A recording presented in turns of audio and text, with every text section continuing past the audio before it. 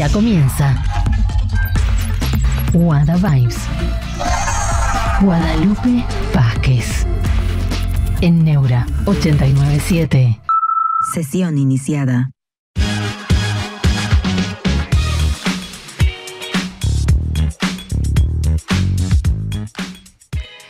¿Cómo andan? ¿Cómo andan? Qué linda tarde acá en Guada Vibes. Los vamos a estar acompañando hasta las 5 de la tarde en este viernes feriado lindísimo sobre la ciudad de Buenos Aires. ¿Cómo están pasando el feriado? Queremos saber porque acá la estamos pasando bárbaro. Y ustedes saben que nos encanta, si hay algo que nos gusta de los feriados, es que nos tomamos el tiempo para hacer esas notas que en el día a día, con la coyuntura, con todas las locuras de nuestros políticos, no podemos hacer. Y es el caso de esta nota muy interesante. Me encantan los políticos que eh, buscan eh, soluciones creativas a los problemas de siempre, ¿no? En vez de caer en la fácil, en la demagogia, en eh, el clientelismo político, bueno, hay un ejemplo de un político distinto, 39 años. Tiene Matías, estoy hablando de Matías Sebeli, intendente de una localidad en Misiones, Alem, y al problema de siempre, que es el no hay plata, le encontró una vuelta que por lo menos está funcionando y puede llegar a ser una salida interesante para otros que eh, se animen a eh, dejar de lado la fácil, el clientelismo político, eh, la rosca para conseguir fondos. ¿Qué es lo que hizo? Dijo, bueno, acá plata para planes sociales no va a haber, pero los vamos a acompañar a ustedes a armar su propio negocio y a conseguir los fondos, a ser emprendedores en vez de planeros. ¿No, es un, buen ejemplo? Bueno, por ahora parece estar funcionando. Estoy hablando de la Escuela de Negocios de Alem, que tiene su primera eh, camada de egresados con 31 emprendedores. Los ayudan a hacer microemprendimientos, mermeladas, huertas, ese tipo de cosas. Obviamente es una localidad chica en Misiones pero celebro que están enseñándole a la gente a rebuscárselas en vez de seguir eh, chupando la teta del Estado, ¿no? ¿Qué tal, Matías? ¿Cómo estás? Buenas tardes. Bienvenido a Guadalajara. ¿Cómo estás vos? Un gusto. Un gusto. Bueno, contame cómo se te ocurrió esto. nosotros lo veníamos planteando ya eh, hace mucho tiempo. Eh, el eslogan nuestro de campaña eh, cuando decidí lanzarme por la Intendencia de Alem, hace 10 meses soy intendente, en la campaña del año pasado, ya le, contaba a la gente que la salida va a ir por el lado del emprendedurismo, la salida va a ir por el lado del trabajo. Acá se terminó la cuestión del regalo, del asistencialismo, porque es una cuestión de, de crónica, digamos, que tenemos que eliminarlo lo dijimos y después, bueno, el 10 de diciembre, cuando arrancamos la gestión, digamos, ya pusimos manos a la obra. No nos quedamos solamente en el discurso, sino que ya nos pusimos a trabajar con un diagnóstico que era 2.000 familias que tenemos en la ciudad de Alem. Alem tiene 50.000 habitantes, pero 2.000 familias están, digamos, recibiendo una asistencia del Estado municipal, provincial o nacional. Ese indicador nosotros queremos bajarlo, digamos, queremos que el 10 de diciembre del 2024, digamos, sean en vez de 2.000 familias las que reciben asistencia, que sean 1.800, 1.700, 1.600, no que sean 5.000. En eso, digamos, fundamos la Escuela Municipal de Negocios y Emprendedurismo de la ciudad con el objetivo, mirá, te cuento, eh, eh, nuestro objetivo era muy chiquitito. Mm. Planteábamos tener 60 alumnos como una prueba piloto y que de esos 60 eh, que pudiéramos hacer que 12, 12 era el número de éxito, el 20%, digamos, arranque su comercio. ¿Con qué idea? Nosotros teníamos, veíamos, la gente viene y te plantea, eh, necesito una ayuda, perfecto. ¿Y el mes que viene cómo haces? Y vas a volver de nuevo, o sea, termina siendo lo crónico. O sea, ¿qué, idea tenés para salir adelante? ¿Qué, qué, concepto tenés o qué, se te ocurre que puedes hacer para, para, mejorar? Entonces, esa idea que tenés para un negocio, para un emprendimiento, lo que sea, digamos, lo traes a la escuela de negocios y en la escuela de negocios te enseñan liderazgo, recursos humanos, cómo sacar un costo, cómo hacer, cuál es tu nicho de mercado, ver tu producto, todo lo que es una tipo una incubadora de empresas Claro. express, digamos, que en seis meses tenés que tener ya salir con tu plan de negocios. Listo, digamos, y salir a emprender. ¿Qué nos pasó? Porque eso, esa fue la idea. Que, salieran por lo menos 12. ¿No? ¿Eh? ¿Cómo? 12 era el primer objetivo. Que salieran 12. Pero que eran 60 los alumnos. Claro. Cuando lanzamos la idea, digamos, lanzamos el programa, lo dijimos, tuvimos 300 inscriptos, o sea, un número más que interesante. O sea, quiere decir que Había interés. eh, la, la idea caló, digamos, en el concepto. Pero también hicimos las entrevistas porque, bueno, 300, ¿no será que se estarán confundiendo de que le vamos a dar un subsidio, le vamos Claro. a regalar algo en el medio? Pues, si no, digamos, es, es una cuestión que termina tergiversando lo que queremos. Bueno, hicimos las entrevistas, muchos eh, pensaban que era online, que no podían cursar. Bueno, terminaron 200 alumnos arrancando esta escuela municipal de negocios. De esos 200, a las dos semanas que arrancaron, ya muchos dijeron, se entusiasmaron tanto con la idea, digamos, de que ya, pues, ya, ya, ya sabían hacer su negocio. Más, una escuela de cocina ya arrancó a las dos semanas, una panadería arrancó a las dos semanas, eh, ya tiene dos, dos, dos empleados, otro tiene un empleado, eh, el de la fábrica de mermeladas empezó a hacer sus blends y empezó a generarse una sinergia interesante entre los que trabajan. Y hace una semana terminamos esta primer corte, digamos, de 31 emprendimientos que están ya funcionando y que empiezan a generar trabajo como una salida. Pero en esto, Guada, te quiero contar algo. Qué barba, El norte y la 31. visión Eh, eh, como, como municipio es justamente que la salida y la Argentina y Misiones y Alem va a salir adelante a partir del trabajo, digamos, del emprendedurismo, de decir, no, no me quedo en la queja claro. y salgo adelante a ver cómo, qué forma puedo hacer para, para mejorar. Y eso levanta la autoestima y también da oportunidades de vida, que es lo que buscamos. ¿no? Claro, absolutamente. Bueno, la economía tiene que acompañar también, ¿no? Porque si hay muchos eh, emprendimientos, pero eh, sigue bajo el consumo, eh, ¿cómo, ¿cómo miden eso? Nosotros, te voy a, te voy a contar, nosotros tenemos un plan. El plan, es- nosotros tenemos una visión de una ciudad emprendedora. Y en eso tenemos varias, varias cuestiones. Te voy a contar un par de detalles más que Sí. tienen que ver con este plan, porque no es que la Escuela Municipal de Negocios quede ahí es un hecho aislado. En nuestra función de, de municipio tenemos tres patas que acompañan al emprendedurismo y al trabajo. Uno es el tema de la escuela, el otro tiene que ver con, nosotros lanzamos, y te voy a contar, no tiene nada que ver con el, el trabajo, pero sí tiene que ver. Una plataforma online para que la gente no pierda tiempo en la burocracia municipal. Todos los trámites que vos venías antes a hacerlo a la municipalidad, hoy lo haces todo de forma online. Hasta el emprendedor que tenía que traer la habilitación comercial, papeles, que tres meses, hoy lo haces los de bajo riesgo, digamos, a través de la, de- de la- la plataforma. ¿Y por qué te la cuento? Dice, ¿qué tiene que ver la plataforma online con lo que te cuento? Porque nuestro, nuestro concepto es un concepto de tiempo. El tiempo que vos perdías acá, en el municipio, en la burocracia, Claro. utilizarlo para producir, para trabajar, para estudiar, para estar con tu familia y no vengas a perder el tiempo acá. Digamos, puedes hacerlo a las 8 de la noche, a las 7, puedes Claro. hacerlo de tu negocio sin tener que venir al municipio en un concepto de que, a ver, tenemos que hacer pr- productivo más el día a día. Y la otra que me decías, ¿cómo hacemos para acompañar la economía? Nosotros también dentro de este plan lanzamos al Alem como una ciudad de eventos. Alem, te cuento, Guada, es la capital nacional de la Navidad. No sé si la sabías. No, no Digamos, sabía. ¿Cómo es la Uy, acá que cele- celebramos Navidad la semana pasada. Como Maduro. ¿Cómo es que es la, ca- la capital nacional de la Navidad? Alem, Alem es sede de la fiesta nacional de la Navidad. Tenemos un parque de 4 hectáreas, tenemos un desfile de 700 personas y se hace toda la historia bíblica, del Antiguo Testamento hasta el Nuevo, tenemos la casa de Papá Noel, se hace la alegoría de Papá Noel.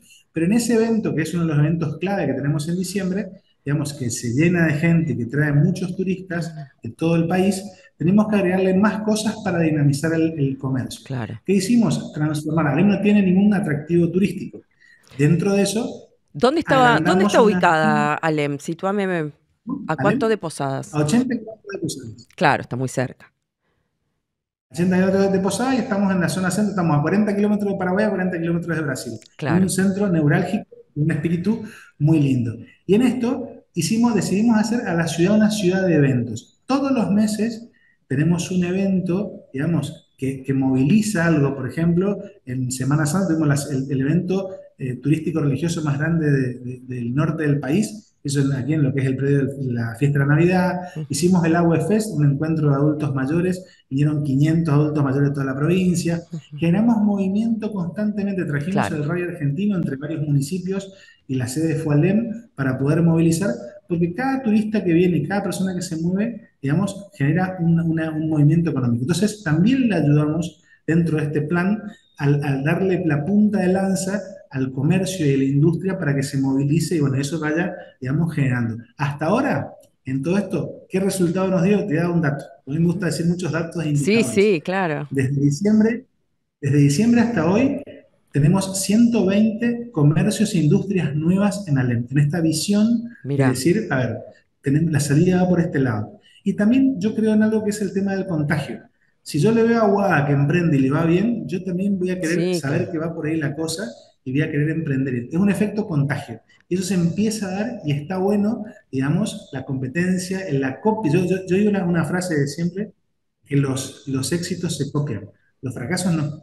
Entonces, eso es motivador, que da, da, oportunidades de vida, pero todo envuelto en un plan para que la, en esta crisis que tenemos y la economía a veces no acompaña, ¿cómo hacemos para buscarle esa vuelta de rosca y que la gente la pase un poco mejor?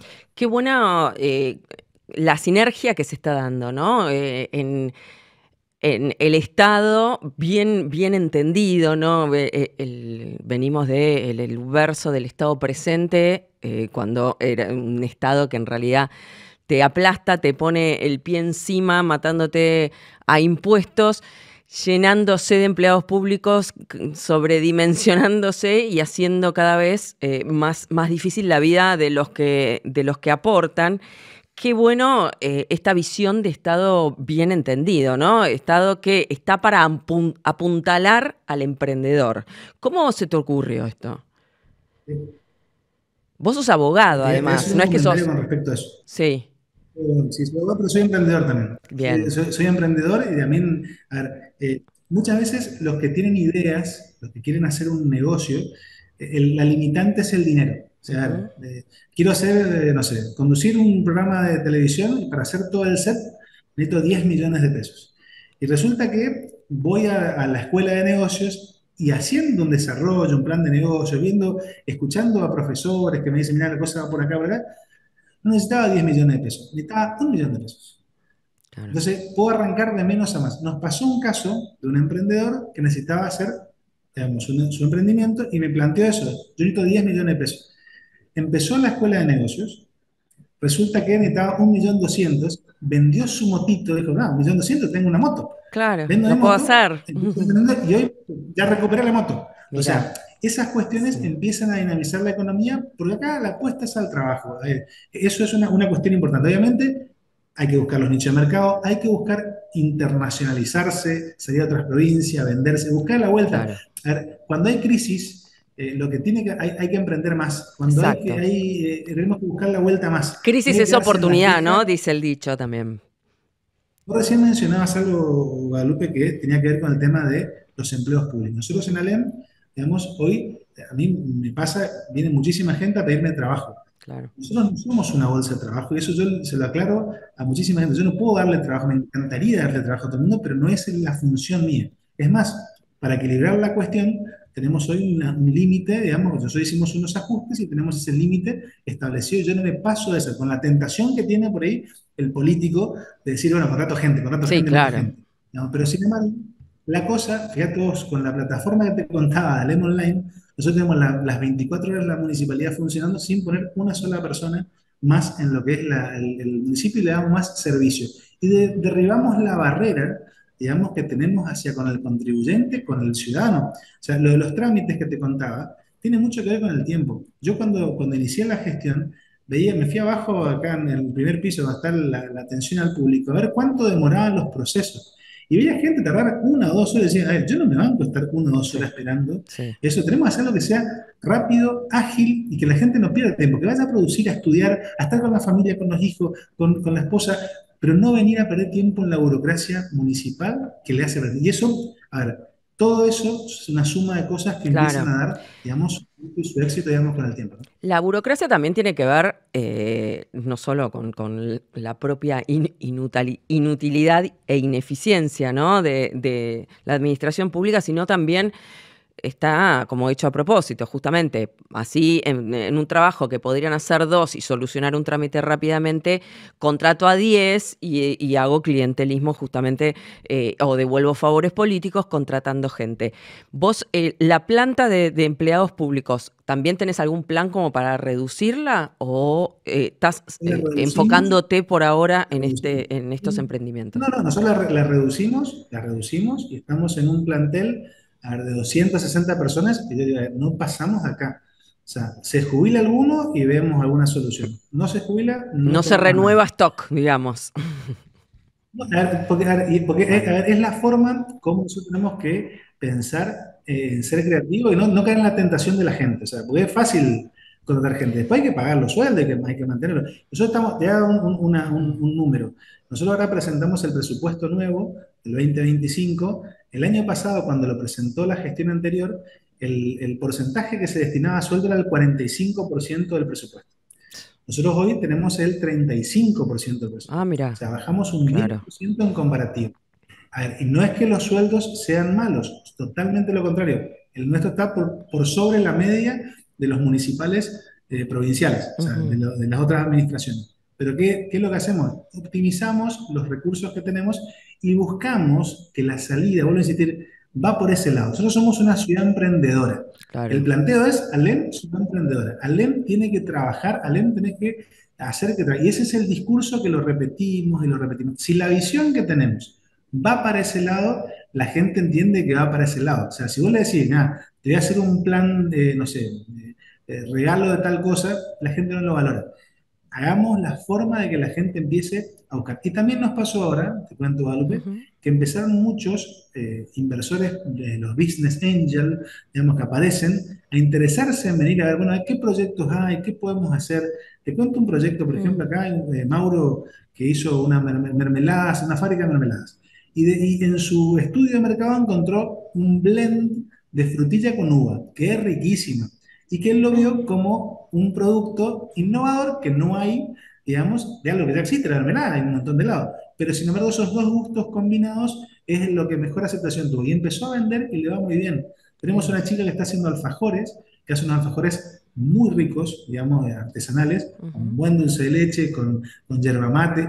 Y hoy se está yendo a una ronda de negocios, algo interesante, a Iguazú, Qué bárbaro. los hoteles, o sea, ahí empezamos a buscar expandir los mercados, a ver hacia dónde vamos, y eso atrae después lo que es el negocio. A ver, siempre, yo lo, yo lo planteaba en la campaña, todos hablan, vamos, vamos a traer inversiones a la ciudad, vamos a traer inversiones. No, a ver, vamos a hacer que la gente que por ahí tiene unos manguitos invierta acá. Y la otra, que empiecen con las ideas o que empecemos a buscar la forma de cómo darlo. Porque e, ese es un proceso un poquito más largo, la inversión grande, ¿no? El sueño de, tener una, una, empresa que tiene 50 empleados conseguime dos puestos de trabajo y festejemos. Conseguime tres puestos de trabajo y, y felicitémosla, aplaudámosla. No, no, claro, porque aparte, eh, para que te vaya bien, no necesariamente tiene que ser un gran emprendimiento, ¿no? Uno puede eh, autogestionarse y vivir bien con algo chiquitito y, además el efecto multiplicador que decías que tiene, eh, por supuesto, levanta la autoestima, eso es fundamental. Y, eh, es, es, como una, dar una batalla cultural. Que tiene que ver con eso. A ver, los tiempos cambiaron y el que no entiende que los tiempos cambiaron, digamos, queda, queda fuera. Pero ojo, a ver, yo no lo, veo de ahora, esto yo lo vengo planteando hace un tiempo y es más, eh, hay que ser eh, coherente de lo que uno dice con lo que uno hace y no esperar planes mágicos o quedarse en la queja, o sea, hay que pasar a la acción vos, vas a entrar a, la página de la, de la, Municipalidad de Alem y vas a ver el programa de la Escuela Municipal de Negocios con todo su programa que ya lo habíamos escrito y descrito de cómo iba a ser una metodología y, trabajarlo para que esto crezca en la primer corte. El año que viene ya queremos hacer, aparte de la segunda corte, queremos trabajar con eh, un centro de idiomas, porque también tenemos que pensar cómo ampliamos los mercados y tenemos mercados que queremos buscar en otro lado, o sea, eh, y, empezar a buscarle vueltas que tengan que ver con la formación. Nos pasaba, por ejemplo, con eh, apoyo técnico para empresas eh, que, por ahí dicen, saben que tienen que tocar en la pantalla o saben, pero no saben lo que dice el, porque está en otro idioma. Entonces, ese, ese inglés técnico por ahí sirve y ayuda para hacer mejoras. Las comunicaciones, hoy tenés el SUB que te permite vender eh, en, Estados Unidos productos tuyos, quizás, digamos, tenés que saber el inglés técnico, pero ahora, vuelvo a insistir, la, la, visión que tenemos que tener es de que la salida va por el lado del trabajo, digamos, pero no de ser empleado, sino que de crear algo que no tiene que ser un invento de cero. ¿eh?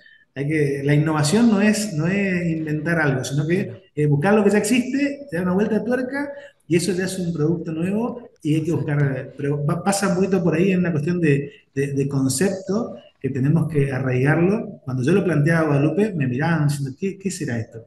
Lo explicamos una, dos, tres veces. El concepto fue cuando vieron cómo arrancó también, cuando el, planteo de, no, no, le vamos a regalar nada al que entra, digamos, sino no le vamos a dar un subsidio ni le vamos a dar un crédito, porque si no, vamos a tener mil tipos eh, queriendo la plata, no, no, no, lo que nos interesa a nosotros, digamos que ahí es donde fracasan las ideas estas, digamos, eh, y, tuvimos discusiones hasta con los profesores. Dice, bueno, ¿qué, ¿qué, apoyo le vamos a dar económico? Y ninguno. Pues no dijimos que le íbamos a dar apoyo económico.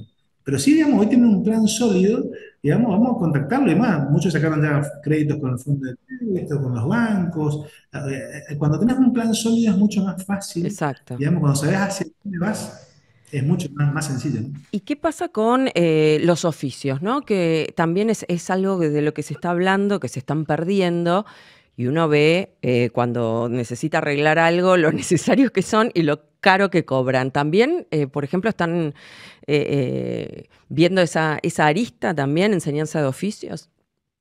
Sí, el año que viene también vamos a incluir dentro una parte de oficios con aquellos que el municipio directamente le asiste a la gente tenemos, ahora nosotros nos pasó en el diagnóstico, sabíamos los números, ahora sabemos las situaciones de cada uno, porque nos lleva un tiempo, digamos, hacer. Ahora tenemos que trabajar. El año que viene, 2025, arrancamos ya con escuelas de oficio, aquellos que nosotros asistimos directamente. O sea, vas a tener que asistir sí o sí a uno de los oficios, poder, tenés que salir vos de esta situación. Si no es algo crónico, si no es algo que va a volver todos los meses, es lo que yo te decía, venir a pedirme ayuda, yo no tengo problema de ayudarte porque no, no, cortamos de cero y dejamos a, a, la buena de Dios. Ahora, ¿cómo hacemos para que el mes que viene no tengas ese mismo problema? Porque si no vas a tener el mes que viene, el otro mes y el otro mes, no es una solución que el Estado te lo dé, digamos, para vos. tenés que, tenés que ver la forma de cómo salir. Estamos viendo eso, sobre todo en la cuestión de plomería, que es una de las cosas que más problemas tenemos hoy para conseguir un plomero, por lo menos en esta zona, no sé. Sí, sí, sí. es, universal, te diría. Problema en la parte de plomería. Después hay otro curso que queremos hacer de lo que es mantenimiento de piscinas, que ese es otro problema que tenemos hoy. Hay mucha cantidad de piscinas y, la verdad que es un tema que tenemos para trabajarlo. Y el tercero en, aire acondicionado, que es otra, otra cosa que eh, cuesta ni, hablar. Van, por esos tres. Te sale casi como comprar uno, ¿no? Arreglarlo. Así que también es una buena salida. La verdad que te felicito, Matías. Ojalá que, que que tu ejemplo eh, sirva para, para, expandirse al resto del país y ojalá que cada vez más gente quiera anotarse en estos cursos y cambiar la mentalidad, como vos decís, porque si no, el mes que viene, el año que viene, van a seguir teniendo el mismo problema. Y esta es una forma también de eh, ser parte de la solución, ¿no? Que cada persona sea parte de la solución y no parte del problema. No, quedarse solo en la queja, hay, que, hay que pasar a hacer algo. Sea, porque mucho vamos a, vamos a, bueno, nosotros fuimos con algo concreto, lo hicimos, estamos avanzando y queremos ver. Y hasta ahora vemos buenos resultados, que eso es lo más lindo. O sea, lo más motivador es ver a alguien que, eh, te, te, voy un ejemplo, en la escuela, una escuela de cocina que estaba Inés.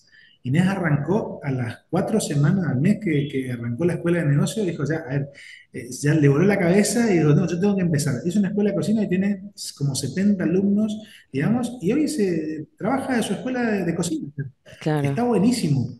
Esas cosas, digamos, sirven muchísimo digamos, en, la motivación. Y ellos, otra persona, está pensando hasta ver qué curso más puede hacer, uno de repostería, aparte del de cocina. Eh, yo estoy por mandarla a mi hija, cuando vi lo que hacer, mi hija está por ir a la universidad en dos años, se va a vivir sola, quiero que vaya a aprender cocina. Claro. cocine sola. claro. Ahí tenemos otro, nicho de mercado muy interesante, los chicos que van a ir a vivir solos. Entonces le digo, eh, a, enseñarle a ella. O sea, esas cosas son interesantes para... y así nos vamos generando una economía nueva, digamos, que va, que va trabajando en el día.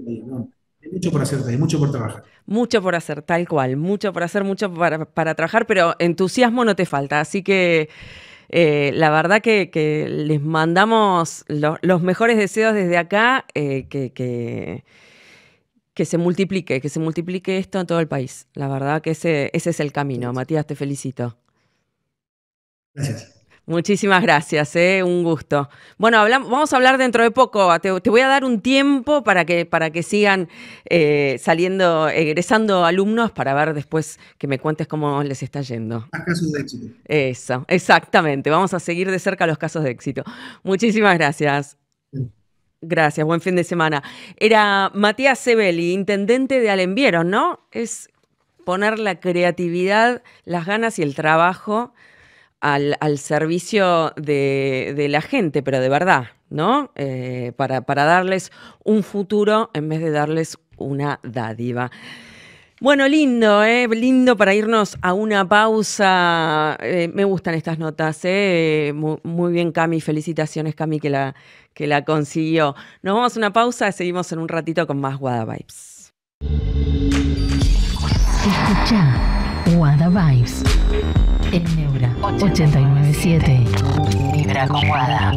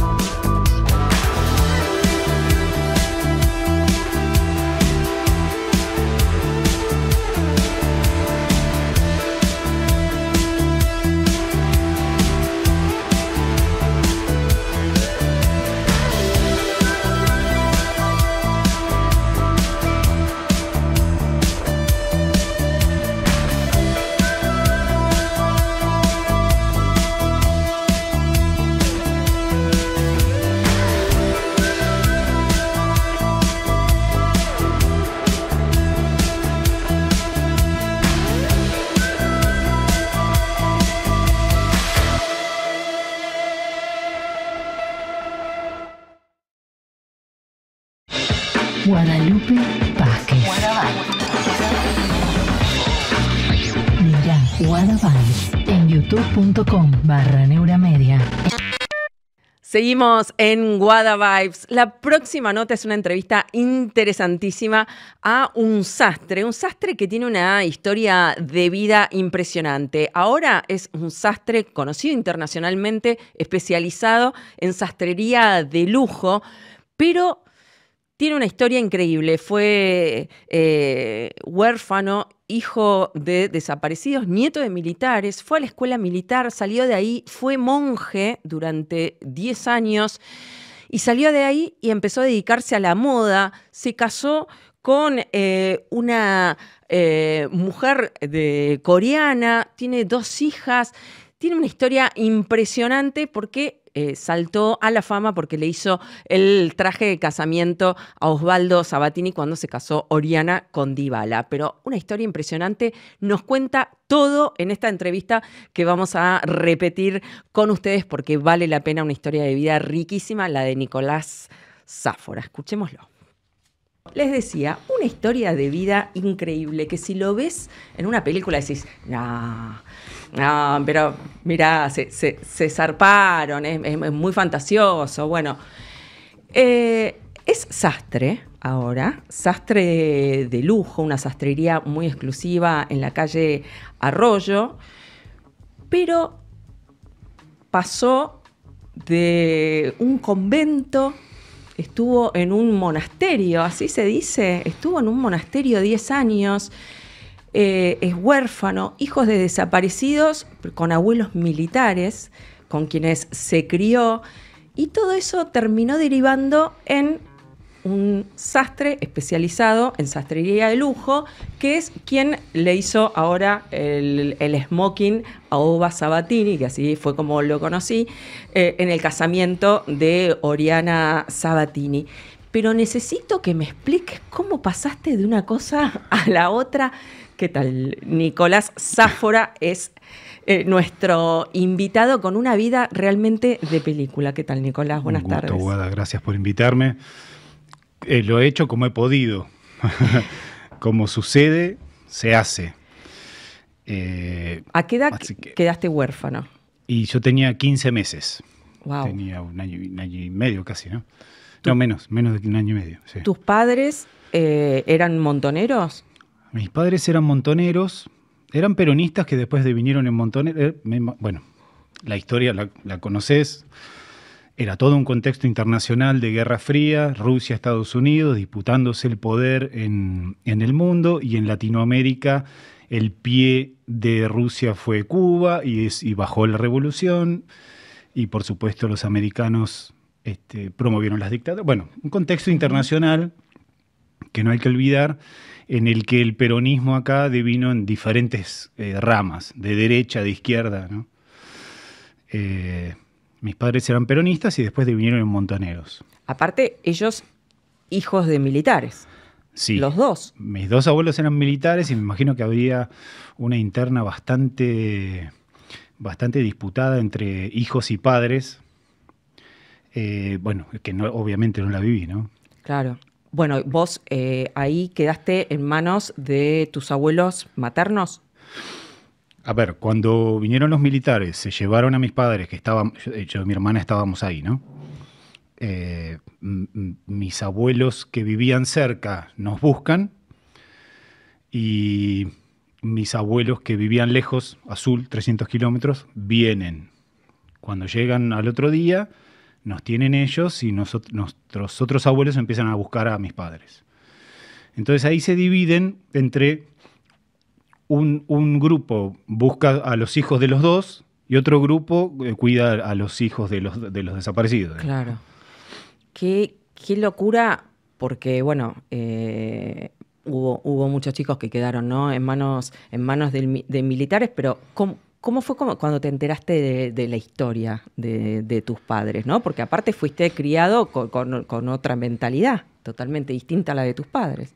Sí, fue raro porque de repente a los 8 o 9 años sabía y no sabía y nunca me lo habían dicho.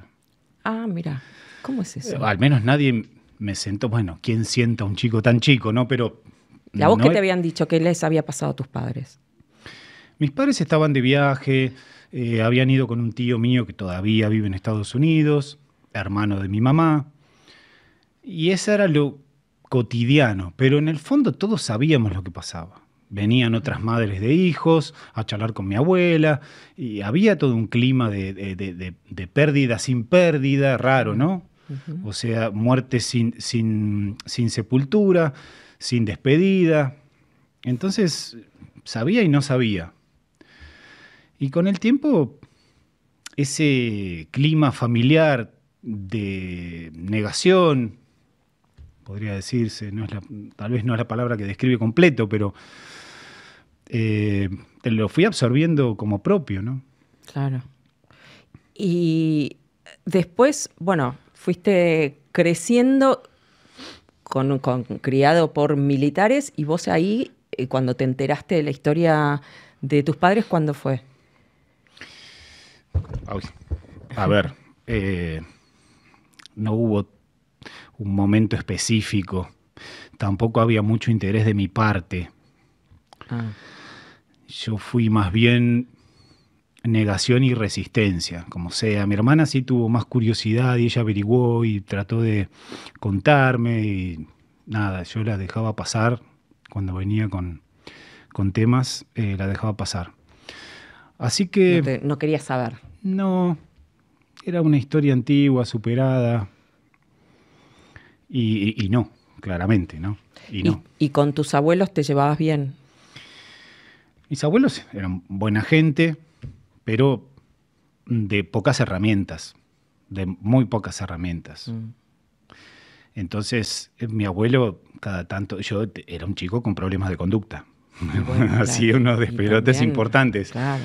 Entonces, este, cada tanto una paliza venía, ¿no? Mi Claro. abuela en el medio tratando de frenar al abuelo, pero nada, no, era gente con pocas herramientas.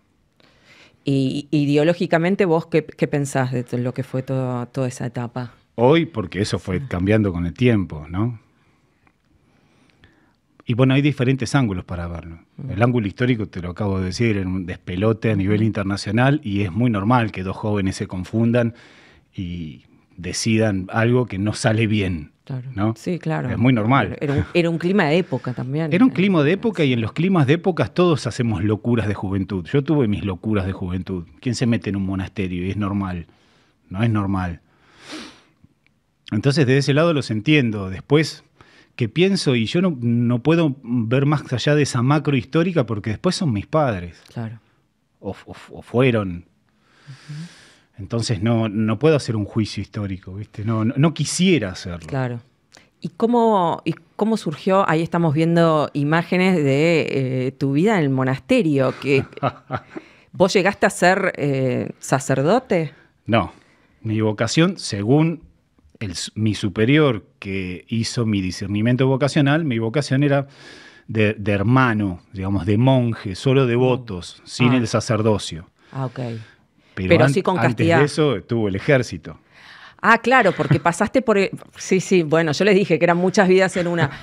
Pasaste, o sea, imagínense la situación, hijo de padres eh, desaparecidos, montoneros, militantes, y de ahí fuiste al colegio militar. Liceo militar, secundario con orientación militar, un internado militar para chicos de 13 a 18 años. Entonces, eh, todo el, el día estaba regido por el ejército. La mañana nos levantábamos. ¿Eso fue decisión tuya o de tus abuelos? Bueno, a los 12 no sé quién decide. ¿viste? Claro, pero, pero vos fuiste contento, digamos. no Yo fui contento tu- porque me gustaba ser libre y me gustaban las armas que no tenía y no conocía y nada. Claro. Y, pero entonces cuando me dicen el ejército, porque la propuesta me imagino que habrá venido este chico que no sabemos qué hacer, O sea que no para de romper cosas, no para de, de pegarle a los demás, no para de... Bueno, hay que mandarlo al reformatorio, si no va a salir como sus padres, va a salir torcido, Claro, en una claro, mente sí, sí. torpe, eh, militar de esa época, ¿no? No Sí, había muchas claro. herramientas para. Exacto. No había problemas afectivos, el nene no necesitaba ser mirado ni nada, no, Sí, no, sí, todo eso no existía. Tal cual, psicólogo, no, nada, claro. Ahí estamos viendo, bueno, imágenes de chiquito. Bueno, ahí ingresaste entonces y pasaste después del liceo militar, donde me imagino que habrás vivido también situaciones eh, complicadas, ¿no? Y bueno, todo, eh, los primeros años fueron pre-Carrasco, Claro. que fue el, un quiebre en el ejército, porque había el, el servicio militar obligatorio o no, y los maltratos comunes o no. Exacto, Porque- estaba normalizado totalmente. Claro, el caso Carrasco fue una gran división en antes y un después en las costumbres internas del- de la tropa. Claro.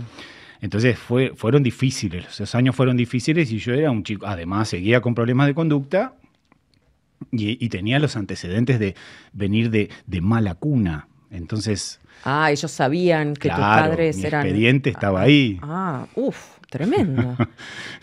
qué sé yo, ¿Y cómo? y acá cómo- estoy. Claro, sobreviviste, pero debe haber sido eh, difícil.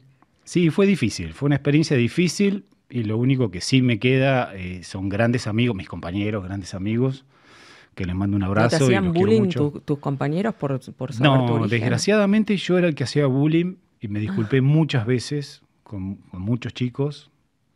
Eso, nada, no, no, no tenía control Claro. y no sabía qué hacer y qué no hacer. Y un poco de ese control lo buscaste después en, en el monasterio. Como era malo, Vos te sentías malo. yo me sentía malo y tenía miedo de ser más malo aún, entonces me entregué a algo más que un reformatorio. Porque si, el- si la vida militar es este, estricta, el, el monasterio lo dejó como un campamento de verano. Ah, tremenda esa definición. Comparado con lo que era eh, eh, la vida eh, en lo que era casi un- como un servicio militar, el monasterio, que había, por ejemplo, castigo físico. Sí, variados. Se, Por- re- se repartían muy fácilmente. ¿Y cómo, cómo, cómo se legitimaban esos castigos físicos? Bueno, a ver, había cierta distorsión ahí. Prim- primero era un grupo católico dentro de la Iglesia Católica, pero de, de, de ultraderecha. Faltaba solo que diga, bueno, nos abrimos, porque todas sus costumbres y sus ideas eran que la Iglesia estaba mal y necesitaba una reforma in- interna y todo estaba... Ah, todo eh, era el opositor a- a- al establishment de la eclesiástico, digamos. Sí, desde el Concilio Vaticano II en adelante todo estaba mal. Y, y el último papa decente había sido Pío XII. Que no digo que no haya sido así, pero digamos, para ejemplificar, hay personas que van a entender ese, ese, ese contraste. Y claro, en ese contexto, por supuesto, lo que valía era la ascética católica de los 2000 años para atrás. Entonces, los monjes y las flagelaciones, los, lo- las diferentes prácticas para domar al cuerpo que es malo, que viene del pecado, que tiene el pecado original, y el alma que es pura, que necesita gobernar al cuerpo que es su enemigo. Entonces, de ahí salían un montón de cartitas hermosas con castigos divinos. Eh, eh, ¿Usaban el, el silicio? Usábamos silicio, sí. Eso estaba regulado por el director espiritual. Entonces él te decía cuánto tiempo había que usar. El silicio son unos, alambrecitos que las puntitas se ponen para el lado interno Claro, es como, como una faja que uno se pone en la pierna de alambre. eh, de alambres y esos alambres apuntando justamente hacia el lado de adentro. claro, hacia la piel. Claro, hacia la piel y se aprieta para lastimarte. Sí, Y eso es como causa, causa molestia primero cuando uno camina y lo pone en lugares donde se mueven, o en la pierna, o en la cintura, lugares donde uno nunca va a mostrar. ¿no? Claro. eh, eso va generando cierta, primero, primero va, va- va penetrando un poquito en la, en, la, en la piel, genera una llaga, y bueno, múltiples llagas, porque son un montón de puntitas, y claro, obviamente, si llegas a transpirar en verano y, y te corre el sudor por ahí, bueno, además pica, ¿no? Y molesta. entonces había horarios para usarlos, y, pero después lo más más significativo eran los castigos extraordinarios, que eran obviamente trabajos forzosos, como al mejor estilo cárcel norteamericana de los años 20 y 30, en donde uno atado tenía que picar piedra o poner vías de tren, una cosa así, digamos, no, no hacíamos instalaciones para el Estado, ¿no? Aclaro. Pero sí, a- así, así, digamos, como con... De ese con- estilo, Con coacción física. con coacción física y con culpa, porque la mayor, el mayor castigo siempre era el psicológico, ¿no? Claro. ¿Y cómo superaste eso? ¿Cómo, cómo saliste de ahí? Bueno, salí con lo último que quedaba de, de un núcleo interior, digamos, am- pienso que todos los humanos tenemos un núcleo en donde estamos solos, ahí cocinamos nuestras decisiones, nuestra seguridad. Después hay diferentes círculos en donde entran otros, o, in- o incluso Dios, eh, o divinidades, o lo que fuere, o la espiritualidad, pero en ese núcleo íntimo en donde uno está solo, bueno, tuve que llegar hasta ahí y quedaba, menos mal, no, no lo quebré, no lo rompí. Y con ese último suspiro logré salir a los 28 años, de los 18 estuve a los 28. Y bueno, eh, un poco desorientado, claramente esa fue una etapa durísima porque cuando era niño tal vez ciertas barreras y bloqueos automáticos geniales que tiene el cerebro para sobrevivir funcionaron muy bien, y, pero ya en esa etapa no, no estaban funcionando tanto, así Claro. que en ese momento me sentía como si hubiera estado desollado en una tormenta de arena. Wow, qué Sí, imagen. esa época fue tremenda. Y me imagino, ¿no? Porque era como reconstruirte, reconstruir tu, tu identidad, tu, tu fuerza emocional, tu, tu, Todo. tu, tu sanidad eh, psicológica, ¿no? Porque que- justamente te quiebra emocionalmente una cosa así. Sí, tenía, había un, una- un manejo psicopático claramente.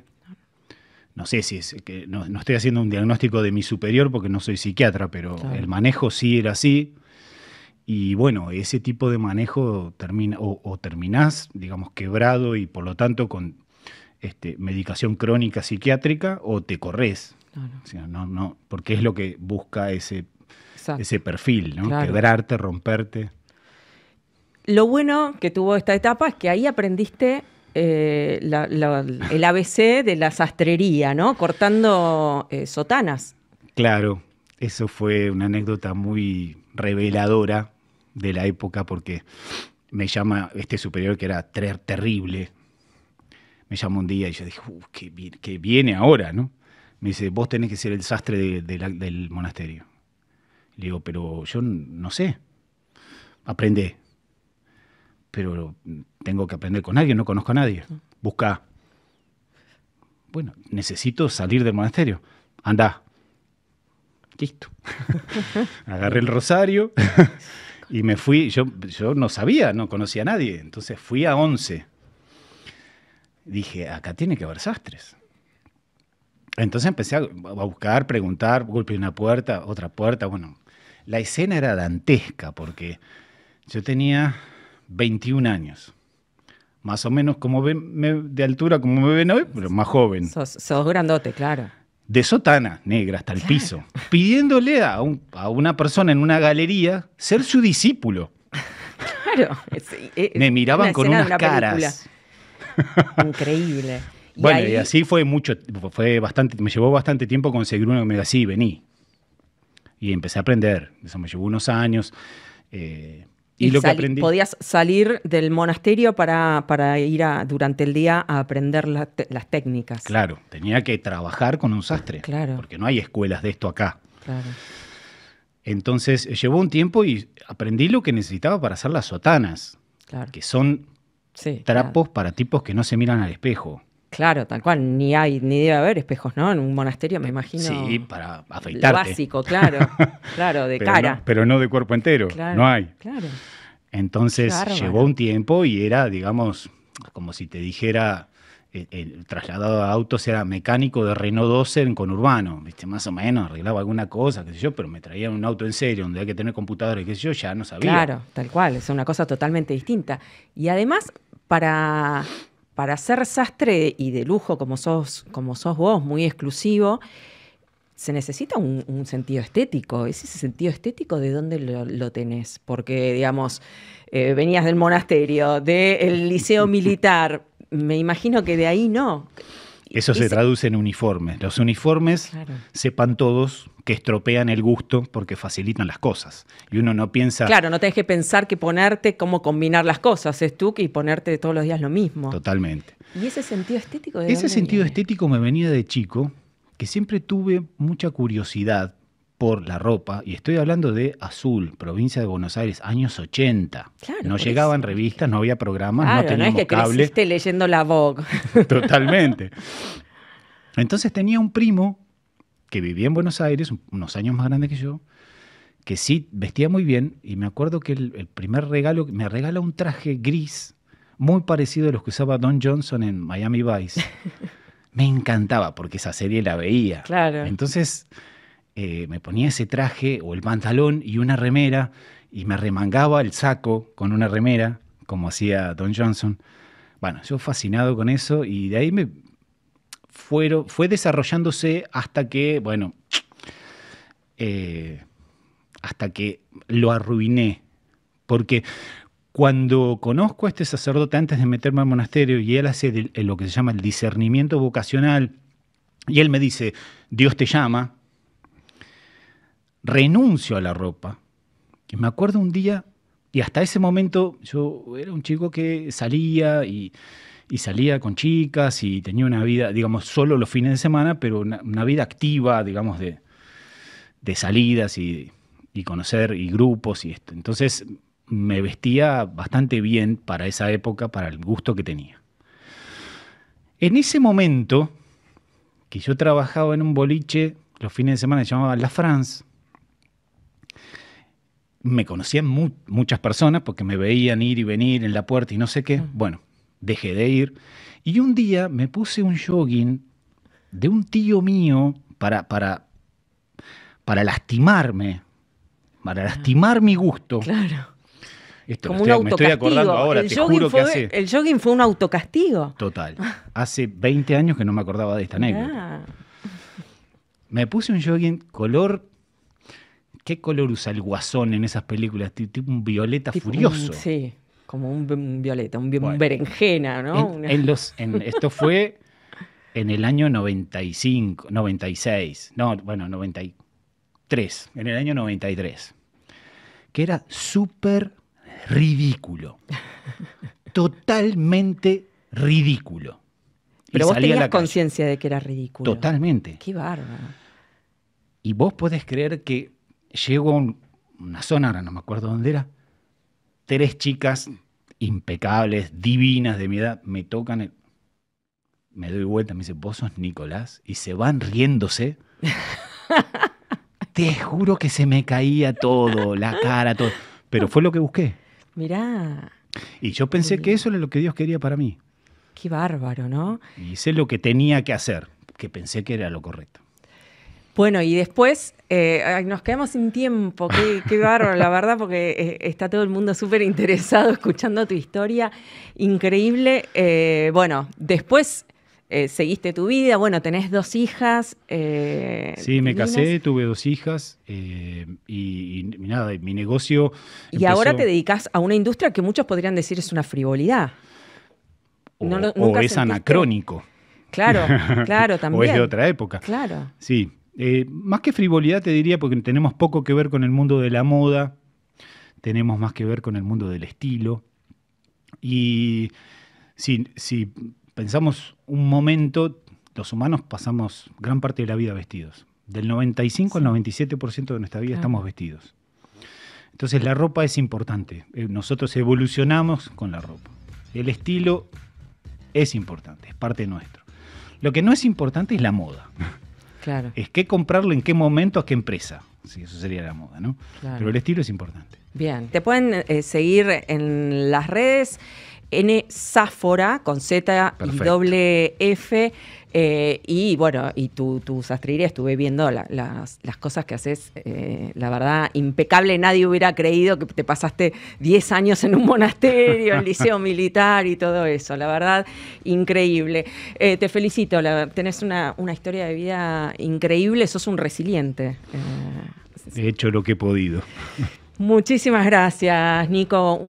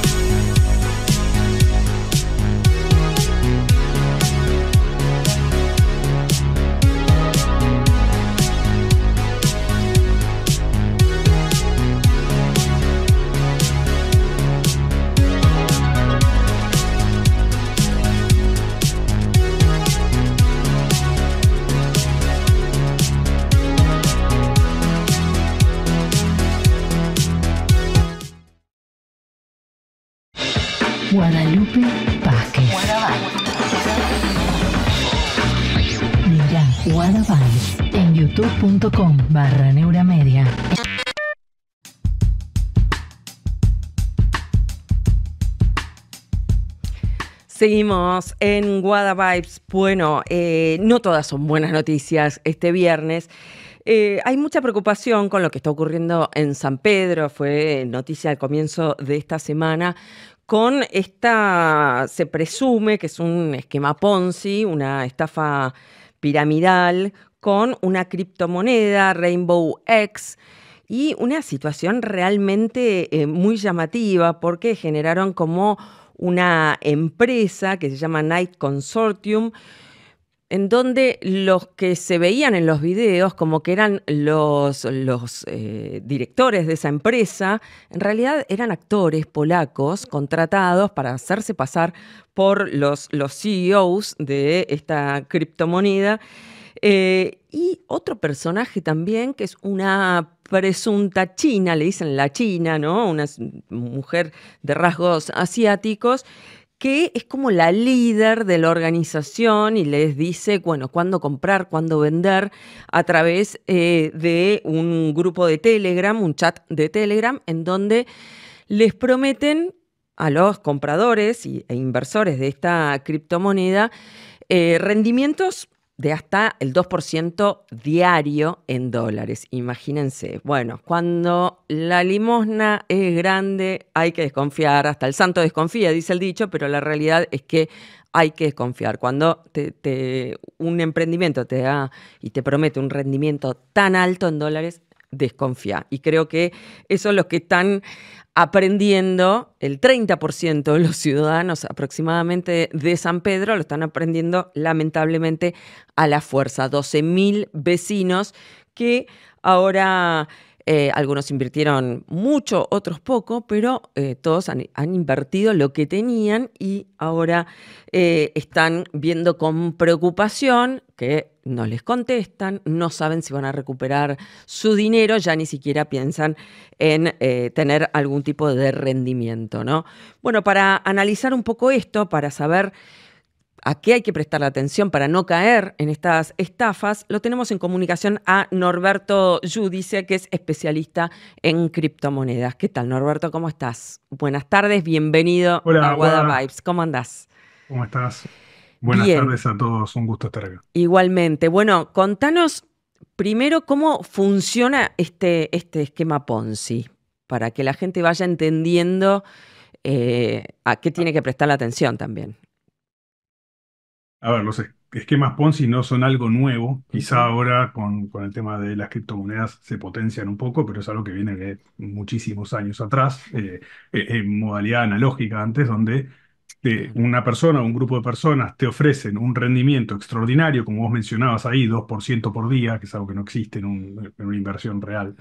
y con esa inversión empiezan a captar gente y con el dinero que empiezan a captar de las primeras personas que entran, van pagándole a las que están más abajo, a las que entran después. Ese es el, esquema Ponzi tradicional, digamos. Eh, o sea, se ponen de acuerdo los primeros. Claro, los primeros recuperan ¿no? Su, su, claro, los, dinero los primeros recuperan y ganan también. Son los que promocionan de alguna manera a ese eh, todos los que vienen después. Por eso se llama eh, también estafa piramidal, porque tenés un grupo más pequeño arriba y después se va armando una pirámide a medida que ellos van referenciando, trayendo más personas. Muchas veces los esquemas incluso incluyen comisiones si traen amigos o más inversores, o no, simplemente eh, se genera ese cascadeo porque los primeros sí están ganando eh, dinero real, incluso lo hacen a veces de buena fe, porque dicen, sí, yo estoy ganando. Entonces, claro, lo recomiendan. armando una bola. El problema es que en algún momento eh, la gente que está bajo esta organización decide tomar esas ganancias y el dinero de todo de la pirámide que se armó y quizá los de arriba no tienen tanto problema porque ya recuperaron el capital inicial o incluso hicieron algunas ganancias, pero toda la base, que es muchísimo más dinero, bueno, pierde, pierde dinero. ¿no? Ese es el problema o el esquema general de, las estafas Ponzi, que ya tienen decenas de años, no es una cosa nueva. Con las criptomonedas quizá y, la libertad que ofrecen las criptomonedas como tecnología, ¿no? y a mí me gusta separar un poco porque no me gusta que estos casos ensucien las criptomonedas. Eh, puntualmente. Claro, yo, que es lo que es hace lo que 11 está años- pasando. Uno eh, escucha hablar de criptomonedas y ya desconfía, ¿no? Porque eh, justamente claro, la falta de regulación desconfiar de hace la que tecnología, decir que Internet funciona Sí, claro. solamente para, eh, eh, no sé, eh, pornografía o Claro, lavado de dinero o cualquier otro tipo de delito que obviamente Internet es una herramienta, Internet es una tecnología. Las criptomonedas también son una tecnología, con lo cual yo no, no culparía a la tecnología de alguien que la usa mal. Me parece que está bueno dividir. No es que las criptomonedas son una estafa para nada. Eh, pero bueno, sí son una herramienta, una tecnología que permite mover dinero y, mm, libremente y por ende se usa esta tecnología para este tipo de estafa. Entonces, separar primero bien lo que es criptomonedas de lo que son estafas, porque no todas las criptomonedas son estafas. Hay un montón de criptomonedas que son estafas. Después, si querés, entramos en, en un poquito más de detalle. Pero hay un montón de otras criptomonedas que no, que ofrecen una solución real, financiera, al mundo real. Entonces, dividir un poco eso. Claro. Eh, vol- volviendo a- al tema de, San Pedro, lo, lo más triste es que Mm. creo que entraron casi el 30% de la población Sí. del pueblo, ¿no? Esa es una de las cosas más preocupantes. Eh, hoy por hoy entiendo que hay gente hasta ayer que decía que no tenía problemas, que todavía no habían intentado sacar su dinero, que estaban esperando un lanzamiento o alguna cosa de marketing que habían hecho. Bueno, creo que todavía esa, esta burbuja o esta pirámide no se rompió por completo, pero bueno, lo más probable es que se rompa y mucha gente pierda muchos ahorros. Esa es la parte más triste. Bueno, y para no caer en este tipo de cosas, ¿a qué hay que prestarle atención? Sobre todo con las criptos, que, eh, como bien decís, Ah. no, no necesariamente eh, tiene que ver con una estafa, una criptomoneda, porque son dos cosas distintas. Se puede haber una estafa con, con dinero eh, real, pero De hecho, los esquemas Ponzi existían Exacto, antes que las criptomonedas, ¿no? Las criptomonedas arrancan sí, en sí, 2009 con Bitcoin y los esquemas Ponzi tienen muchos años antes. tal cual. Eh, ahí e- es importante, el primer punto es el que vos dijiste, Guada. Si hay algo que te ofrece un 2% de rendimiento diario, es una estafa, no hace falta que ni, ni analizarlo mucho. Claro. ¿no? Yo te digo, eh, yo no conozco ninguna inversión hoy por hoy que me deje el 2% mensual, Exacto. no diario. Claro. O sea, no, dejo ni- no conozco inversiones que dejen más, de- más del 2% mensual. Eh, eh, ya es un rendimiento extraordinario. Imagínense 2% diario, es una locura, no existe. Ese rendimiento no lo consigue nadie, por más trader que sea o eh, descubra el activo el, del futuro, no, no existe. Claro. Entonces, cuando la limosna es grande, como dijiste, hasta el santo desconfía, ese es el primer, el primer red flag, si querés, la primera llamada de atención de, de este sistema. Y después lo que hay que hacer es un, un análisis fundamental. A mí me gusta decir, a ver, todas las criptomonedas podrían ser o potenciales esquemas Ponzi hasta que demuestren lo contrario. Entonces, cuando decimos hasta que demuestren lo contrario, ahí es donde tenemos que hacer el doble clic. Eh, por supuesto que no es el caso de Bitcoin, verás que tengo acá el- el- una estatuita de Bitcoin, yo invierto en Bitcoin hace Sí, ahí 11 atrás años, tuyo. no es algo nuevo Claro. para mí, eh, y, pero porque lo entiendo, porque hice el análisis fundamental sobre ese activo, que uno lo puede hacer sobre acciones u otro tipo de activos, pero en, en cripto yo tengo como una especie de checklist, ¿no? En, en- Ujú. en mi canal lo subo mucho, eh, por cierto, soy arroba criptonorber con i latina en, las redes, Bien. eh, pero tengo como un checklist de análisis fundamental, así es, con, con i latina. Eh, me llamo Norberto y Norbert quedó. Ahí está en. YouTube y en Instagram principalmente. Pero este análisis fundamental de que te hablaba, primero es entender el propósito y la utilidad. Es decir, esta criptomoneda que yo voy a comprar, y voy a poner mucho el caso de Bitcoin porque es la que más clara tengo y es la que hace más tiempo invierto.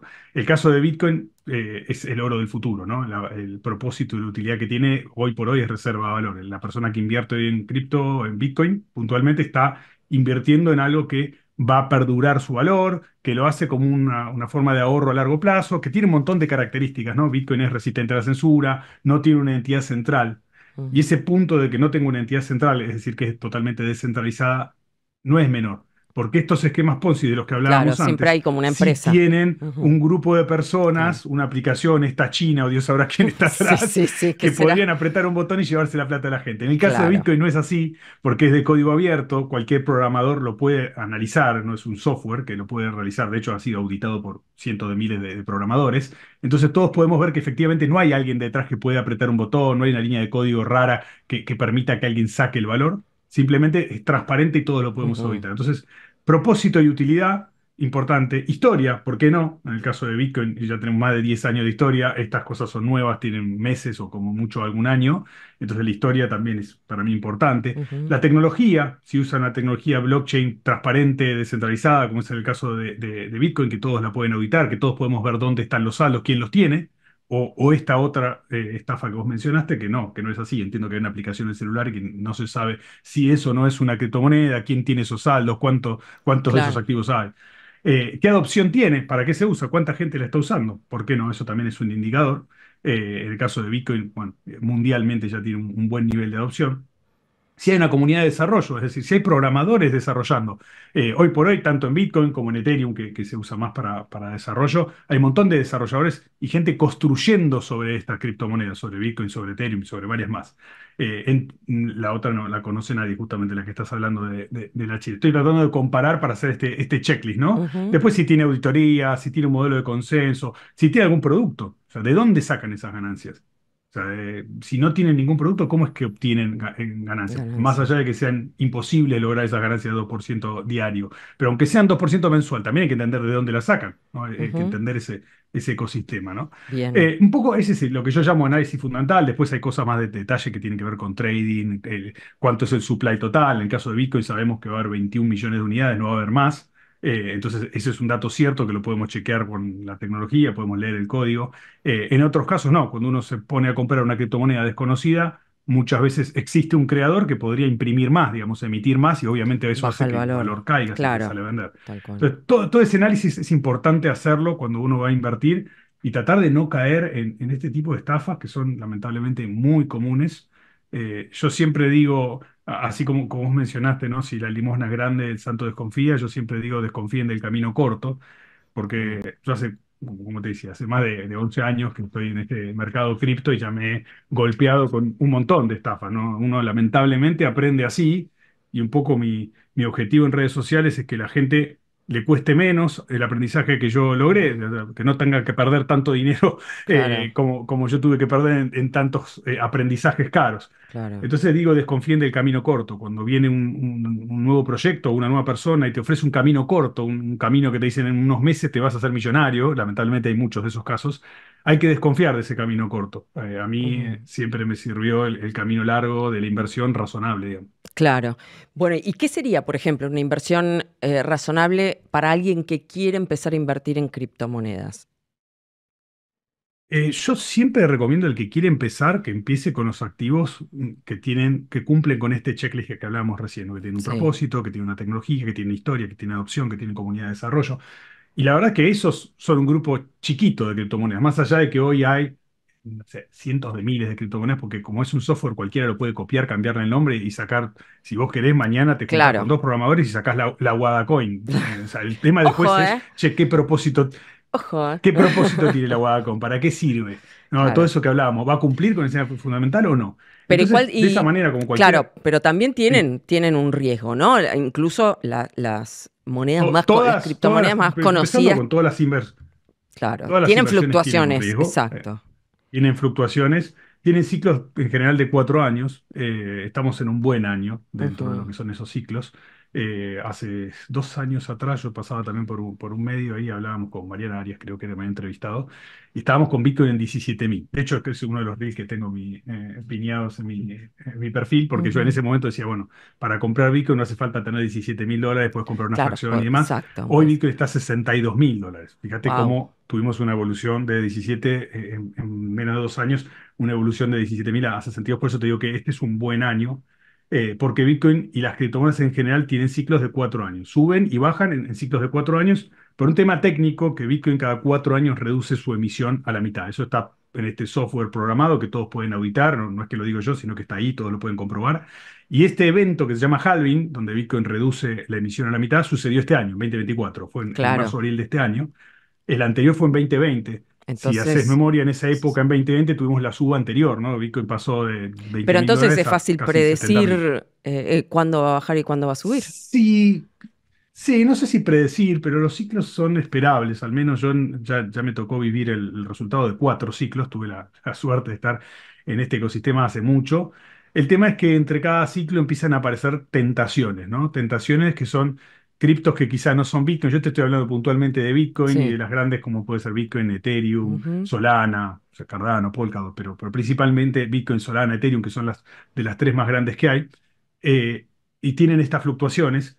Pero después, en el momento de que está todo subiendo, empiezan a aparecer tentaciones que ofrecen rendimientos más altos, parecido a lo que hablábamos antes. ¿no? Cuando te dicen, no, pero no inviertas en Bitcoin, porque capaz que Bitcoin sube, no sé, 80% nada más, nada más, ¿no? Que Claro. es un montón, 80%, pero, pero para el mundo cripto a veces hay gente que dice, no, eso es, es poco.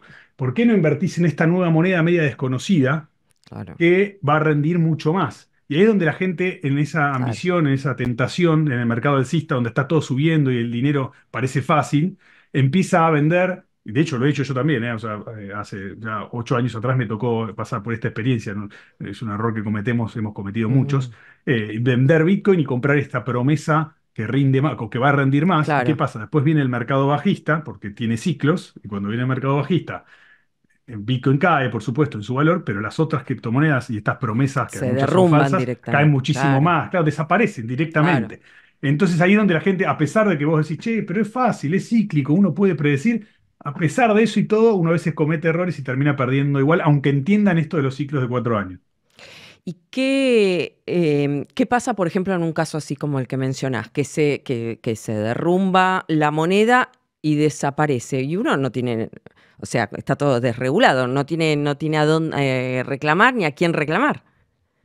Bueno, eso es lo bueno y lo malo del mundo de las criptomonedas, ¿no? Siempre a mí me gusta el hombre araña que tenías al, al tío Ben que decía, con gran poder viene gran responsabilidad. Bueno, eh, las criptomonedas te dan un gran poder. Vos sos libre de transaccionar a la hora que quieras, con quien quieras, sin pedir permiso a nadie. No hay una entidad central que pueda prohibirte mover tu dinero. Eso es- está buenísimo, sobre todo para nosotros los argentinos que hemos vivido etapas donde los gobiernos o los bancos nos han, si querés, tocado nuestros ahorros y, no nos dejaban agarrar nuestro propio dinero, ¿no? Que eso es terrible. Entonces, las criptomonedas te dan la libertad, al no tener una entidad central ni, ni estar reguladas por ningún gobierno ni empresa, de poder. Estoy hablando de las criptomonedas serias, ¿no? Sí. Bitcoin, Ethereum, las Sí, criptomonedas sí, de, de verdad, las descentralizadas reales. Eh, uno puede transferir, yo te puedo enviar a vos, Wada, Bitcoin, un domingo a las 3 de la mañana sin pedirle permiso a nadie. Es una transacción entre dos personas que no hay ningún intermediario y vos vas a recibirlo. No hay nadie que lo pueda pedir, pero ni el presidente de ningún país, ni el dueño de ninguna empresa. O sea, Ujú. por más poderoso que sea el hombre, no existe intermediario. Es una, una transacción lo que llamamos peer-to-peer, ¿no? persona a persona, punto a punto. Entonces, esa, ese poder, eh, aparte de que lo una- a un costo ínfimo, ¿no? Porque podría transferirte siquiera, no sé, cualquier monto, 50, 100 millones de dólares, y el costo serían 3 dólares, realmente ínfimo si lo comparamos con el sistema financiero. Que aparte no trabaja los fines de semana, que sí te pide hay que pedir permiso y un montón de otras cosas. Todo ese poder, toda esa libertad que tenemos con las criptos, conlleva una responsabilidad. ¿Qué responsabilidad? Primero, ser dueño de nuestras palabras claves. Si Estamos hablando de enviar Bitcoin de una billetera a otra. Cada billetera tiene sus palabras claves. Y esa clave, que uno la tiene que guardar, es lo único que te permite mover Bitcoin. Si uno la pierde, también pierde las criptos. Y algo parecido pasa con lo que me preguntabas recién. ¿Qué pasa si yo invierto en otra criptomoneda y me equivoco, tomo una decisión de mucho riesgo y vendo Bitcoin y compro alguna de estas altcoins desconocidas que después desaparecen? Bueno, la responsabilidad la tomé yo, me tengo que hacer cargo y quizá perdí los ahorros que, que decidí, decidí con esa, con esa acción, ¿no? Entonces, eh, eh, viene por ahí, ¿no? Eh, entender la libertad, entender el poder que tienen las criptomonedas y la tecnología, no culpar a la tecnología por estos casos de mal uso, pero al mismo tiempo tener la responsabilidad para saber usarla y hacerse cargo. Bien. ¿Y qué es un rendimiento esperable, ¿no? En una de estas que- conocidas, ¿no? Unas Ah, criptos conocidas como las que Como, te dije, yo no conozco ninguna plataforma de, de staking. Staking es parecido a lo que vendría a ser un, un plazo fijo en el mundo cripto. No conozco ninguna plataforma que esté pagando cerca del 2% mensual, no diario. Mm. Eh, eh, eso, te voy hablando de rendimientos eh, en el tiempo consistentes, ¿no? Sí podés tener suerte y en un trade podés ganar 80%, podés ganar se- 100% en un trade, digo, no una Claro, acción de vos entrás, ponés en riesgo un dinero, tenés suerte, eh, ah, hiciste un buen análisis Compraste técnico, bajo, pudiste vender una alto, sí. Claro, vendiste, agarraste las dos puntas, te apalancaste pidiendo plata, hay un montón de formas de, de hacer trading. Eh, eso sí es posible, hacer rendimientos muy, muy grandes, pero en un trade. No es lo mismo que hacerlo consistentemente durante todo un año. En el, en el tiempo. Claro, no, no, no podemos extrapolar eso a, a un año. Rendimientos de más de un 1%, o- o- a- entre 1 y 2% mensual, en un año no son lógicos. En, en plataformas que te paguen consistentemente. Ahora, distinto es, che, yo tengo la posibilidad de hacer 100% con Bitcoin. Puede ser, Bitcoin está ahora en 62 mil dólares. De hecho, si lo hubieras comprado en ese video que yo saqué hace dos años, ya hubieras hecho más porque fue cerca debajo de 20 mil, ya hubieras triplicado el dinero. Claro. Y si se, dan, se da este mercado alcista que estamos esperando para el año que viene, quizá Bitcoin va por arriba de los 100 mil dólares y también estás a tiempo de quizá duplicar ese dinero. Ok. ¿no? Pero eso O es un periodo está, hay que, está alta, recién, pero todavía, todavía es un, puede ser un buen momento, o sea, comparado con el año que viene, Sí. para comprar. Desde mi punto de vista, todavía Exacto. falta eh, mercado alcista, sí. Para mí 2025 debería ser un, un año alcista fuerte todavía. Me puedo equivocar, no es una recomendación de inversión, eso es importante porque Sí, sí. en redes aparecen muchos personajes, incluso tengo un montón de personas que se hacen pasar por mí también, lamentablemente, ¿En serio? que ofrecen servicios, sí, que te Ah. ofrecen, ofreciéndole a, a mis seguidores Claro. eh, servicios o que le den dinero. Yo no tomo dinero de nadie, aprovecho para aclararlo, yo no, no opero con dinero de terceros, ya bastante que, que opero con mi dinero y acepto mis errores y mis aciertos. Eh, yo no, no vendo ningún servicio ni opero con dinero de terceros, eso es importante. Ya, Bien. si escuchan a una persona que le dice, dame tu plata y yo te la hago rendir tanto, eso también es para También, sospechar, claro. hablábamos antes, ¿no? Eh, ¿por qué una persona que tiene eh, un- una, la- una capacidad extraordinaria de multiplicar el dinero por dos te va a pedir exacto. dinero a vos para multiplicarlo? No tiene ningún sentido. Puede hacerlo con su dinero, puede pedir prestado y devolverlo. No tiene esa necesidad. Con lo cual también, si hay alguien que te está ofreciendo un rendimiento extraordinario, también tenés que sospechar por eso. ¿Por qué lo haría? ¿Por qué se lo ofrecería a otro en vez de quedarse esa lámpara mágica que se supone que Ese es, tiene? claro, eso es un buen parámetro, ¿no? Para darse cuenta si te están chamullando. Básicamente. si, sos exacto, tan, pero- si sos tan genio, ¿por qué me estás pidiendo plata a mí? Claro, ¿no? ¿Por qué Claro. necesitas, claro, por qué serías tan bueno de decir, che, dame plata y yo te la multiplico por vos? Claro. Es raro. Sí, sí, tal cual. Bueno, ese, ese también es, es otro parámetro. Eh, bueno, para terminar, entonces, eh, muy, muy claro eh, las cosas que hay que mirar para darse cuenta de no caer en una estafa, pero también tener en claro que es una, es una posibilidad de inversión seria. Es un mercado fluctuante que tiene sus riesgos, como cualquier inversión, pero que todavía hay margen para, para invertir y hacer un rendimiento para el año que viene. Sigue siendo una inversión atractiva. Las criptomonedas Totalmente, en general, o sea, no- las no por- conocidas. No, no por nada, no por nada tenés a bancos grandes, a fondos de inversión grandes como, como BlackRock comprando trillones de dólares en Bitcoin. ¿no? Estamos, y, y me quiero centrar en Bitcoin porque no quiero, también quiero hacer una diferenciación. Una cosa es Bitcoin y otra cosa son las criptos. ¿no? Las dentro del mundo de las criptos tenés proyectos serios, pero tenés un montón de proyectos que son estafas. Exacto. Entonces, Bitcoin eh, es, es otra cosa y ya encontró su posicionamiento como reserva de valor. Y como te decía, tenés bancos y fondos muy grandes comprando, invirtiendo grandes cantidades. De, poco, de hecho, hace poco Galperín en La Nación salió diciendo que él también invirtió en, en Bitcoin en 2011, bueno, 2013, por ahí, cerca de, de cuando yo también a- a- inver- empecé a invertir. Eh, con lo cual tenés gente que lo ha analizado y está tomando como una inversión real. Pero estamos hablando de Bitcoin, no confundamos.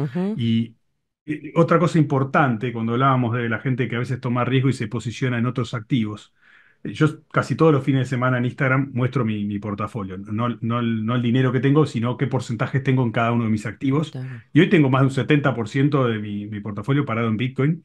Y Ajá. muchos me preguntan, Norbert, ¿pero por qué si vos te parás en este otro proyecto que parece bueno, va a subir más que Bitcoin? Sí, puede ser. Pero en mi experiencia también la única criptomoneda en la que uno puede estar parado más de un ciclo Mm. es decir, equivocarse, pifiarle a este ciclo alcista que uno cree que puede venir, podría no venir. Claro. La única criptomoneda en la cual uno puede decir, yo me quedo parado y espero porque me equivoqué en Claro, este ciclo. no fue este, pero próximo". va a venir otro, claro. Exacto, es Bitcoin. De hecho, me ha pasado con, Ajá. con- con mi, mi mamá, que si me está escuchando le mando un saludo. Eh, ella compró en el, en el punto más alto del ciclo de 2017, por allá con Bitcoin, cuando prim- por primera vez había llegado a 20 mil dólares. Después de verme a mí entusiasmado de comprando, Claro. yo venía comprando desde que estaba en mil dólares. Ella compró justo, justo ahí entre 19 mil y 20 mil dólares, porque tardó. Y después cuando empezó a bajar, cayó el Bitcoin hasta 3 mil dólares de nuevo. Y me acuerdo que en un momento que, que yo necesitaba Mm. plata, me dijo, bueno, si querés vender mi Bitcoin. Y yo dije, no, ma, ¿cómo vas a vender tu Claro, Bitcoin que vos lo compraste en, en este 20 mil? ¿Cómo lo vas claro. a comprar en 3? Y ella lo que hizo es esto que yo te digo. Se, se esperó, hoy todavía sigue teniendo su, su Bitcoin, y hoy sí ya está, triplicó sus ganancias. Pero claro, es el único activo que quizá podés esperar varios ciclos. Por eso también moverse y comprar algo más riesgoso tiene ese riesgo de no poder esperar varios ciclos. Claro. Eh, y es de, de largo plazo para, para una persona que dice, bueno, en vez de comprar, qué sé yo, bonos del Tesoro de Estados Unidos, que tiene bajo rendimiento, pero yo sé que es una inversión segura y lo, lo quiero como para mi jubilación. ¿Con Bitcoin puede hacer lo mismo? ¿O es mucho, Sí, uno o dos ciclos y ya entender. no... Ah, Tienen que entender su nivel de gasto, su edad, el riesgo que quiere tomar y demás. No son decisiones personales y Claro. no hay que hacerle caso a ninguna persona de redes sociales, a mí ni a nadie. Cada uno tiene que hacer su análisis. Pero se puede y pensar en, entender. Pero en- en invertir a 20, 30 años. si vos me preguntás a mí, Guada, yo hoy tengo Bitcoin, que pienso que va a ser no solamente mi retiro, sino yo tengo dos hijos, eh, espero que sea la herencia para ellos también. Quizá en este ciclo sí, el año que viene tome algo de ganancias, venda algo de Bitcoin y compre bonos de tesoro para esperar a que caiga, después sí empezar a hacer un poco de trading, Claro. pero hay una parte de mis Bitcoin que yo los tengo en lo que llamamos billeteras frías o hardware Claro. wallets, que son desconectadas de internet, son las más seguras, que sí son para largo, largo plazo, pensar en algo de 20 años, herencia, jubilación y demás. Bien, bueno, bueno, entonces eh, acuérdense siempre yendo a las más conocidas, sobre todo a las que no tienen así como una empresa que te capta los fondos ni, ni que te sugiere ningún tipo de inversión rara. Y que no, hace, y no hay nadie que haga una promesa, o sea, Eso, realmente ninguna promesa, los números que yo cual. te estoy diciendo es en base a mi experiencia, lo que creo que podría pasar, pero no hay nadie que me esté asegurando ni, ni, ni un 2%, ni un 1%, ni ningún Exacto. rendimiento eh, asegurado. Claro, exacto, porque nadie, nadie sabe cuánto puede cotizar. Má- más allá de poder predecir hasta cierto punto, como cualquier inversión ¿no? de riesgo, por supuesto. Exacto, es un análisis técnico que por supuesto tiene su riesgo, puede fallar o no, pero bueno, está basado en historia, en volumen, en datos técnicos de, de- de- de análisis que se pueden ver en el mercado.